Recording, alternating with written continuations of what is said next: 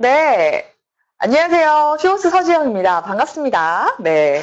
오늘 바디, 바니플렛에 정말 예쁜 신발 준비했으니까요. 잠시만 기다렸다가 영상 보고 다시 오실게요.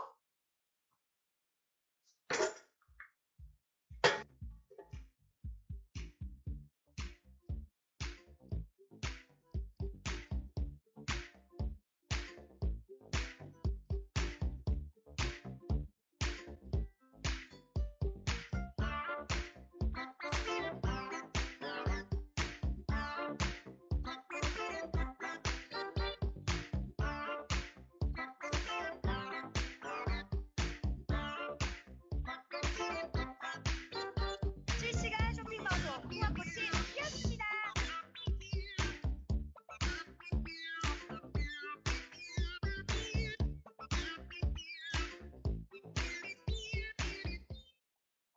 네, 돌아오셨습니다. 반갑습니다.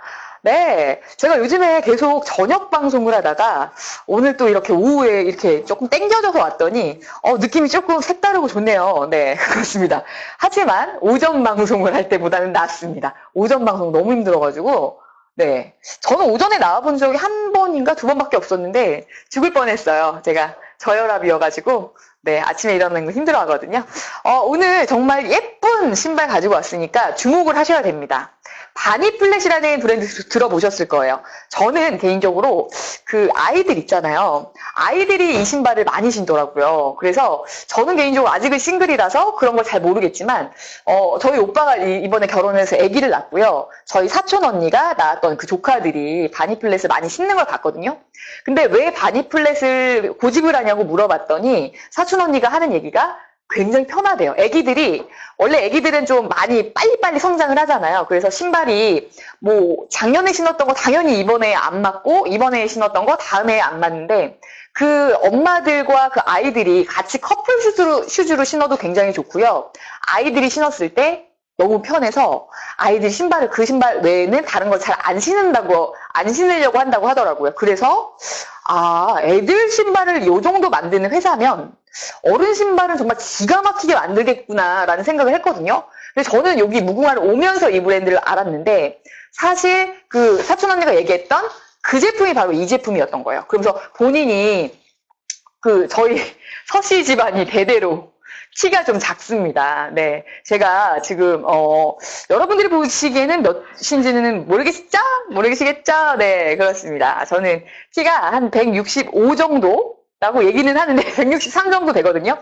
그래서 약간 그 스니커즈라던가 운동화가 굉장히 편하고 좋긴 한데 키가 너무 작아 보인다는 그런 단점이 있잖아요. 그래서 저는 그것 때문에 운동화를 너무 신고 싶은데 어, 내가 중요한 날이 있어. 그러면은 운동화나 스니커즈를 못 신는 거죠. 그런데 이 제품은요, 중요한 날도 신으실 수가 있을 겁니다. 왜냐하면 조금 이따 보여드릴 건데, 안쪽에 숨어 있는 굽도 있고요, 겉쪽에 굽도 있고요, 키 높이 슈즈예요. 그렇기 때문에 여러분들이 신었을 때는 또 편안한 착화감, 그리고 실제로 딱 신고 일어섰을 때 키가 보통 구두나 펌프스를 신은 그런 느낌을 받아보실 수가 있는 거죠. 그렇기 때문에 아우 전체적인 기장이 기가 막힙니다. 여자는요 키로 거의 뭐 자존심을 승부한다고 해도 과언이 아닐 정도로 물론 남성분들 중에서 음, 키 작은 여자를 좋아하시는 분들도 있으십니다. 하지만 여성분들이 이제 전체적인 라인이 일단 키가 딱 이렇게 컸을 때 어, 전철을 타거나 아니면 많은 분들이 이렇게 지나다니는 영화관에서 이렇게 키가 딱 크잖아요. 그러면은 약간 어깨가 이렇게 으쓱 쓰는 그런 게 있어요. 그렇기 때문에 여러분들도 이거 선택을 하시면 아마도 아, 내가 진짜 중요한 날인데 발은 좀 오래 서 있어야 되는 날이야. 그랬을 땐 이거 한번 선택을 해보세요. 왜냐하면 디자인 자체가 굉장히 예쁘게 나왔어요.